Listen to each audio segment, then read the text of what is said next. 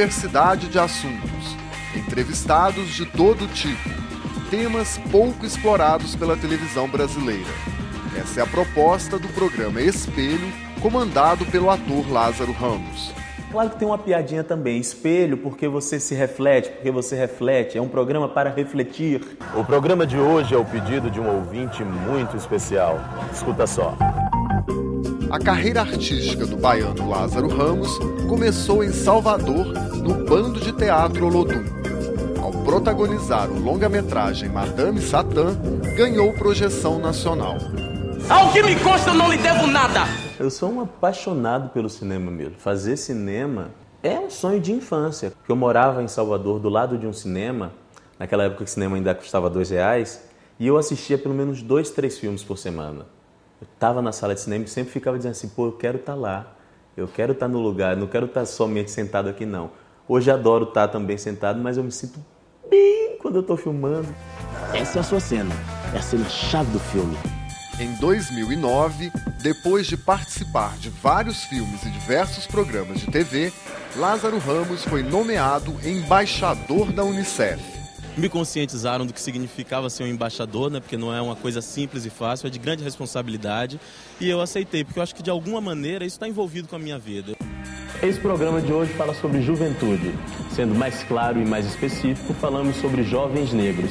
O programa Espelho estreou em 2006 e acabou consolidando a falta de um formato como proposta. O que há em comum entre todos os episódios é o prazer do apresentador e diretor em conversar com as pessoas. Eu gosto de conversar com as pessoas, gosto de ouvir as experiências de vida delas e gosto principalmente de poder propor discussões. Emanuel, por que, é que tem gente que diz que museu é uma coisa chata? Porque museu é chato mesmo. Celso Ataíde nunca deu entrevista para programa de TV nenhum. Desde que ele existe como pessoa pública, ele nunca deu entrevista para TV. A única entrevista de televisão que existe onde aparece o rosto do Celso, é no espelho. E se o momento é favela, então você não vai ver os favelados fazendo nada. Você só vai ver os homens do asfalto fazendo tudo agora sobre o que está em moda, que é a favela.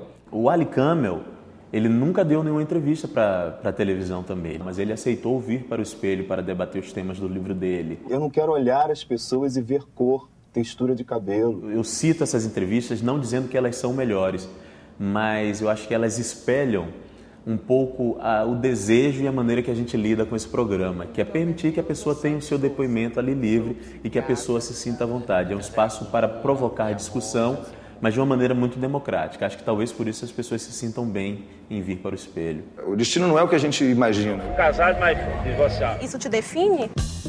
E se engana quem acha que o espelho só dá voz a pessoas ilustres. A gente ficava sempre nessa, como é que a gente vai selecionar quem vai dar entrevista no espelho? Aí a gente se perguntou, será que qualquer pessoa pode estar no espelho? E a gente fez um programa que eu acho que norteia e norteou muito a gente. A gente saiu um dia daqui, sem pauta, e disse, a primeira pessoa que nós encontrarmos na rua, nós vamos entrevistar e ver se dá um programa. E ficou um programa belíssimo. Como é o nome do senhor? Edivaldo. Edivaldo. Senhor Edivaldo, o senhor trabalha sempre aqui no Lago do Machado? Sempre no Lago do Machado. Seis anos já aí na pista aí trabalhando. Nova York. Gravar em diferentes cidades é outra característica do programa Espelho. Então a gente já teve em Angola, a gente já teve em Nova York, a gente teve na posse de Barack Obama, não podemos esquecer isso, e a gente teve também na Bahia, São Paulo, Rio de Janeiro. Em sua quinta temporada, Lázaro Ramos está dividindo a direção do programa com cinco parceiros.